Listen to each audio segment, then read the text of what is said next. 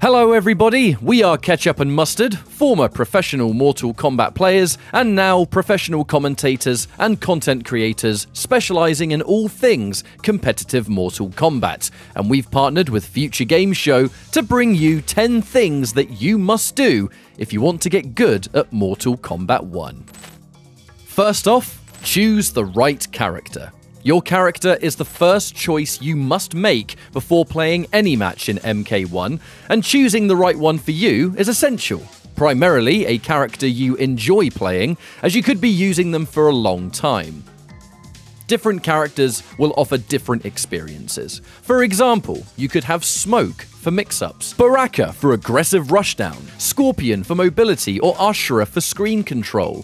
Think about it as the way you want to play the game and just simply choose a character that fits that. But even with all that said, you might still be wondering are there just some characters that are good for me to play if I'm new to the game and I just want to learn the mechanics the best way possible? Well, thankfully, in Mortal Kombat 1, there are a couple of picks that I would definitely recommend for that. The first I recommend is Liu Kang. Now, he may be the main character in Mortal Kombat 1, but this character genuinely features a wonderful collection of fundamental tools. Really good attacks up close that can teach you the basics of rushing down your opponent with good moves, and also the ability to keep the opponent at range. The term space control in general being that you control the screen. You have various moves that can keep the opponent at distance and really keep the control in your hands. Liu Kang has all of these moves that you would want, and if you're trying to learn the game, he is a fantastic character to start with. Another character that's good for newcomers is Johnny Cage. This character is generally one of the best characters in the game right now, anyway. However, his impressive collection of up close tools, mostly lying in attacks that are advantageous for him to keep the pressure going, makes him one of the best characters to learn if you're trying to rush down your opponent as a newer player. He isn't particularly hard to play, and he pairs with tons of efficient cameos. With Liu Kang and Johnny Cage combined, you can can learn a lot of what makes this game work at a basic level. Choose the right cameo.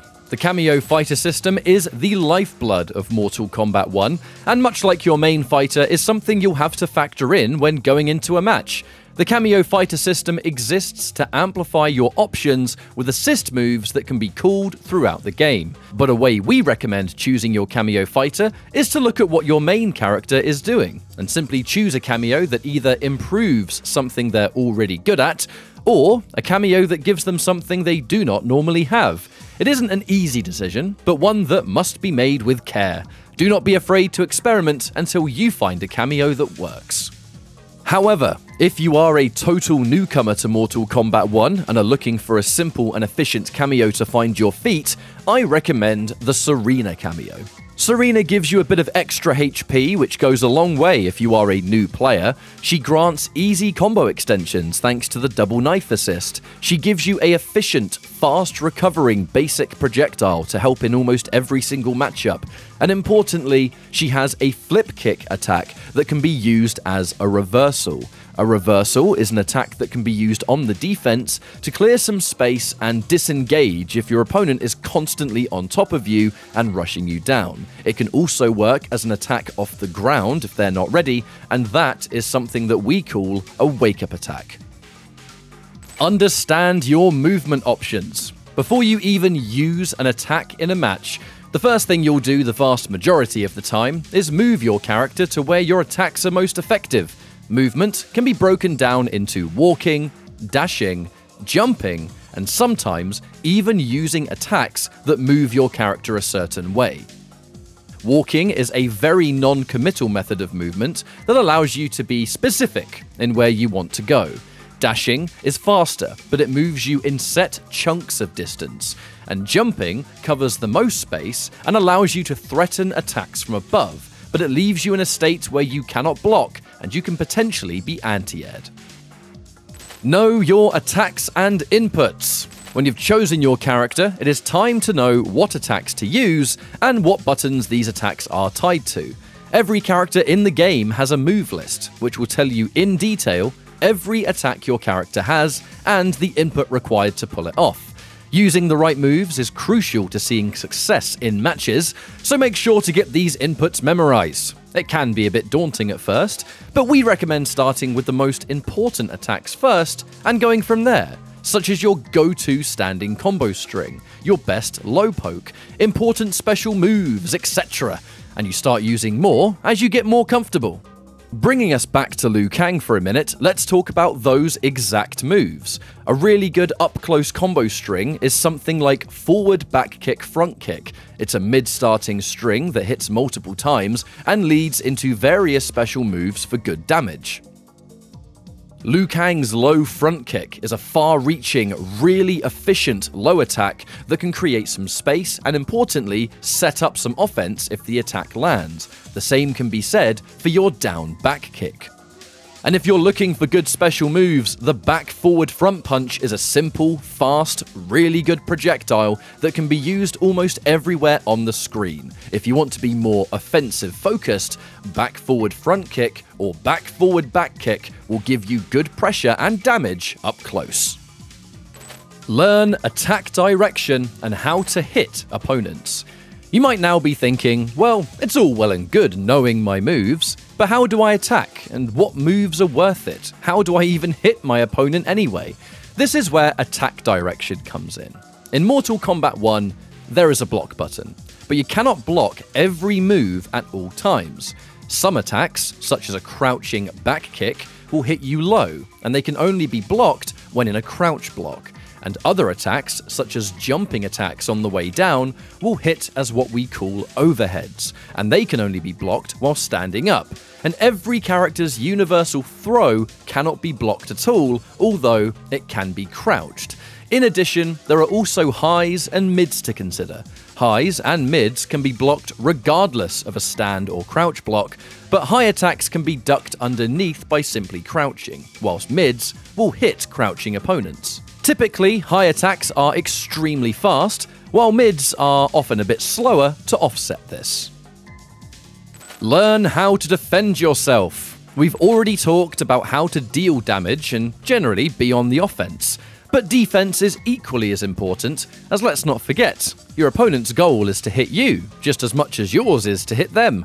Blocking is essential to any match of MK1, and everything we've mentioned about attack direction applies here as well. Blocking puts you in a state that you cannot move, and generally, crouch block is safer than stand block, as most overheads in the game tend to be slower than lows and can be reacted to if you're quick enough. Walking back to build space between you and your opponent can give you an opening to counterattack, and also being prepared to stop opponents from jumping at you with anti-airs, such as a basic uppercut with crouching back punch. All of this will help you stay safe in the heat of battle. Manage your enhanced meter. Resource management is paramount to seeing consistent success in matches, and MK1 is no different in the fighting game genre. As you play through the rounds, you will be building enhanced meter that you can spend on a variety of game changing mechanics. This meter is built by dealing damage, dealing chip damage on your opponent's block, performing special moves, and getting the first hit in round 1, and taking damage. All of this can be spent on enhancing your special moves for a single bar, sometimes two, depending on the move itself. And for all three, you can execute a combo breaker, allowing you to escape a combo and saving yourself from damage. Now, typically, you should be saving your breaker for situations where you will lose the game or do not want to take heavy damage output. There's a time and a place for a breaker, and it can save you in a match. Manage your cameo meter. Another resource you have to stay on top of is your cameo meter. We've already explained what your cameo fighter does, but it does come at a cost. Cameos have their own meter that will regenerate over time spent, and the rate in which it regenerates depends on the move used. Most cameos will recharge at either a fast, regular, or slow rate, and some moves cost the entire bar, while others will cost half of it. As this is a resource that comes back over time and is not controlled by you, you can be a bit more willing to spend it. However, you'll need to make sure not to waste this, as cameo attacks are game changing and using too many and having it on constant cooldown could be dangerous. Understand the difference between safe and unsafe moves. Frame data is a common term thrown around in the fighting game space, and it can seem rather intimidating to fighting game newcomers. But don't worry, we won't go into detail here, but the overall point of this tip is knowing what safe versus unsafe means. Let's take a common move, for example Sub Zero Slide. Everyone likes using this, and when this attack is blocked, Sub Zero cannot block for a certain amount of time, and during that time, you actually hit him for free and deal guaranteed damage. This is called a punish. Compare this to his low string in back low kick back kick, which once blocked, he's actually safe and cannot be hit. As a general thing, you will want to use your character's fastest attack that leads to good damage and use that to punish unsafe attacks.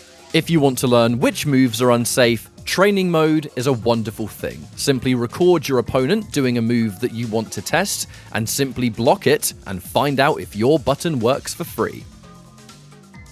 And finally, stay calm amidst the chaos. This might sound vague, but hear me out. It's important to keep your cool in a match. MK1 is already shaping up to be an extremely aggressive and fast paced game, and losing your composure is a sure way for a good match to turn very bad very quickly.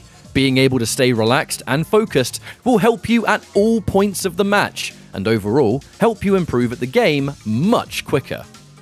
And that's our list for 10 things a player must do to get good at Mortal Kombat 1. I would like to thank Future Games Show for having us feature on this episode, and I'd like to thank you all for watching. If you'd like to throw in some extra support, let us know in the comments section what tips you would give a newcomer, and on top of that, perhaps even consider dropping a subscription. A little bit goes a long way. Thank you all so much for checking this out. Take care of yourselves, and I will see you next time.